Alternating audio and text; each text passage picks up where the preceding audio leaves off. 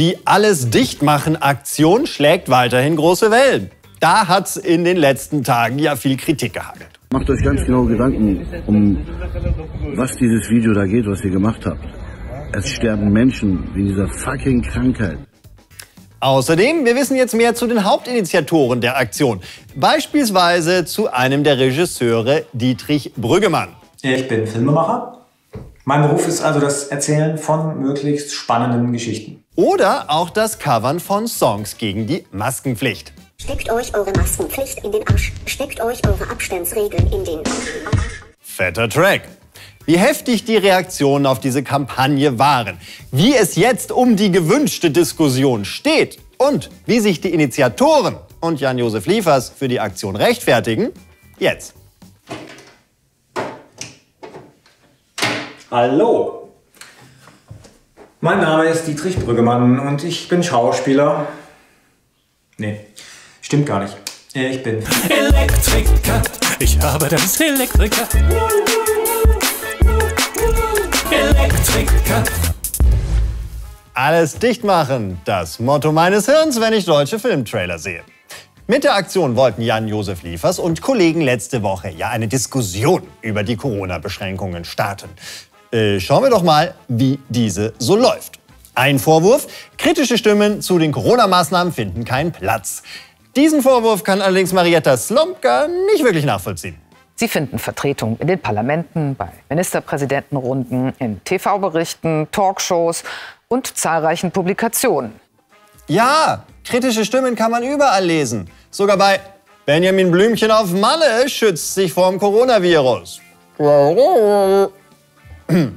Und Frau Slomka findet? All diese Diskussionen scheinen jedoch an 53 mehr oder weniger bekannten deutschen Schauspielern und Schauspielerinnen irgendwie vorbeigegangen zu sein.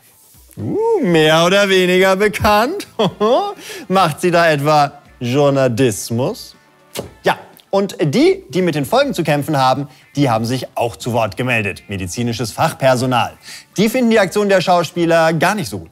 Sie haben eine Grenze überschritten. Und zwar eine Schmerzgrenze. Und das sage ich jetzt für alle, die tagtäglich seit über einem Jahr in diesem Gesundheitssystem stehen, handeln, helfen, immer wieder aufstehen und immer noch da sind. Ja, mit solchen Reaktionen muss man wohl rechnen, wenn man jetzt als Schauspieler die Message in Ironie und Zynismus ertränkt. Denn bei Aktivismus, da hat Ironie doch noch, noch, noch, noch nie geklappt. Oder wäre etwa so die Mauer gefallen? Wir sind nicht das Volk. Puh, bin ich froh, dass wir nicht das Volk sind oder so.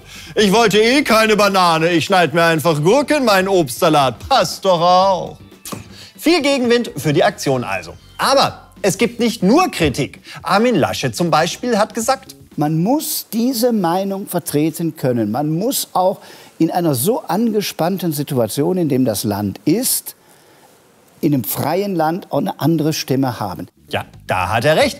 Vor allem, weil es nicht nur bei Kritik geblieben ist, sondern auch sowas hier kam.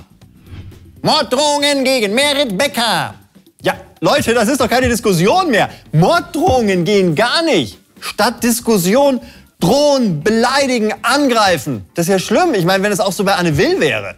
Was ist los mit dir? Batsch, batsch, so versohl ich dir gleich deinen Arsch. Hör mal zu, du lächerliches Fickschnitzel, halt mal deine dumme Fresse, ja? So einen kleinen Schwanz hast du, so klein ist der. Also mit so einem kleinen Pimmel würde ich Ach, dir nicht was soll anfangen das denn so eine heißen? So Scheiße klein reden. ist du doch auch nicht. Okay, gut, vielleicht würde ich mir das dann doch auch anschauen wollen. Aber es ist nicht gut, so zu diskutieren. Also, einige der Schauspielerinnen und Schauspieler haben in den letzten Tagen ihre Videos wieder runternehmen lassen. Merit Becker zum Beispiel. Von anfangs 53 Videos waren heute Morgen nur noch 34 übrig. Inklusive der wieder neu hochgeladenen Videos in den Kanal. Mhm. Erst löschen, dann wieder hochladen. Einer zeigt sich von dem heftigen Gegenwind allerdings wenig beeindruckt, Jan-Josef Liefers. Der zieht gerade von einem Interview zum nächsten und wirbt um Verständnis. Wir haben jetzt ein Jahr ähm, alles äh, geduldig und mit äh, viel äh, Aufmerksamkeit auch mitgemacht. Und nun ist halt das dabei rausgekommen. Ja, huh, gut, Schwamm drüber. ähm, passiert. Liefers findet, Lockdown-kritische Meinungen kommen in Medien zu kurz. Mit Querdenkern will er aber nichts zu tun haben. Ein Moderator hat dabei Liefers nachgefragt, nicht zu ahnen, dass solche Videos von Querdenkern missbraucht werden. Ist das nicht ein bisschen naiv? Schauen Sie, jetzt sagen Sie naiv zu mir. Wissen Sie, wann das letzte Mal jemand zu mir gesagt hat, sind Sie so naiv? Es war Das war Mitglied eine des Frage. Zentralkomitees in der DDR an der Schauspielschule. Ja, also Kritik äußern ist Kunst, Kritik bekommen ist DDR.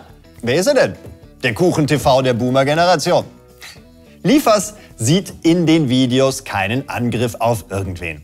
Es ist nicht gedacht gewesen, Staatsbürger unseres Landes zu veräppeln. Wir machen das doch selbst, wir sind doch selber welche. Rückendeckung bekommt Liefers von Mitstreitern. Zum Beispiel von einem der beteiligten Regisseure, Dietrich Brüggemann. Hier zu sehen, wie er seit Stunden seine Krawatte sucht. Der lässt es allerdings ein bisschen anders klingen als Liefers im WDR. Die Videos verhöhnen nicht die Opfer der Corona-Pandemie und auch nicht das medizinische Personal, sondern euch. Und Publikumsbeschimpfung ist die erste Aufgabe der Kunst. Die Reaktion zeigt, es hat funktioniert. Ja, Publikumsbeschimpfung ist die erste Aufgabe der Kunst. Ja, hättet ihr das gedacht, ihr Wichser? Brüggemann gerät in dieser ganzen Geschichte immer mehr in den Fokus. Auch weil er in der Vergangenheit schon solche Songs veröffentlicht hat. Steckt euch eure Hygienemaßnahmen in den Arsch. Steckt euch eure PCR-Tests in den Arsch. Steckt euch euren Inzidenzwert in den Arsch. Steckt euch eure Kontaktnachverfolgung in den Arsch. Steckt euch euer exponentielles Wachstum in den Arsch. Steckt euch euer Killer-Virus in den Arsch. Jo, und dann? Scheiß mir ins Gesicht! Geil. er meint, mit der Alles-Dichtmachen-Aktion genau die richtigen Leute getroffen zu haben. Was diese Aktion hier macht, ist, sie hält dem besser verdienten und besser gestellten Medienbürgertum der selbstgerechten Twitter-Blase so ungefähr, die die ganze Zeit Lockdown fordert und aber vollkommen übersieht, was mit dem Rest dieser Gesellschaft dadurch geschieht, dem hält sie den Spiegel vor. Ja, außerdem kritisierte, dass am Thema vorbei debattiert wird. Wer Einzelne herauspickt und sie anprangern will, tut das nur, weil er die inhaltliche Auseinandersetzung scheut. Äh, ja, welche Inhalte waren das nochmal? Steckt euch euer Killer-Virus in den Arsch. Uh, tja, die Diskussion ist sehr emotional. Die Fronten sind verhärtet und da stehen halt Leute, die Todesfälle erlebt haben, gegen Leute, denen die Existenzgrundlage wegbricht. Existenzgrundlage. Existenzgrundlage finde ich aber auch sehr lustig. Das sind Schweine, die dann in einem Laden sitzen und das betreiben. So, jetzt ist natürlich die Frage, Markus, in dieser Situation, du hast diese Fronten, ähm, die sind festgefahren. Aber eigentlich sollte man doch etwas Schönes finden, um da irgendwie herauszukommen. Was machen wir denn am schlausten? Haha, auf zum Gericht. Äh, das Gericht ist ja eigentlich so die neutrale Instanz, die dann mal schaut, ähm, ob da die Grundrechte der Bürger vielleicht zu viel beschnitten werden bei neuen Gesetzen. Und es gibt tatsächlich auch Klagen gegen dieses äh, Infektionsschutzgesetz, Bundesnotbremse, wie man auch immer es nennen möchte. Das äh, existiert. Ja, und äh, glaube ich nicht nur, also nicht nur AfD, sondern äh, du hast dann äh, SPD, einen Abgeordneten, hat FDP. Grüne, also durch die ich, Bank. fand's, ich fand tatsächlich am schönsten, dass äh, Jan-Josef Liefers heute in der Zeit endlich mal wieder ein paar versöhnliche Worte angestimmt hat. Oh nein, was hat er gesagt? Also oh, Freude, Mhm. was hat er gesagt? Der meinte, ähm, ich will die Form dieser Kampagne gar nicht so verbissen verteidigen. Mir ist total klar, dass man sie vollkommen daneben finden kann. Aber eins lässt sich nicht von der Hand weisen, irgendeinen neural neuralgischen Punkt haben wir berührt. Und äh, dieses Aufeinander zugehen, äh, wenn auch stolzes Aufeinander zugehen, tut uns doch allen sehr gut. Das ist doch sehr spannend. Und deswegen ist auch die Frage, was meint ihr? Ist diese Diskussion zu retten oder gehört sie?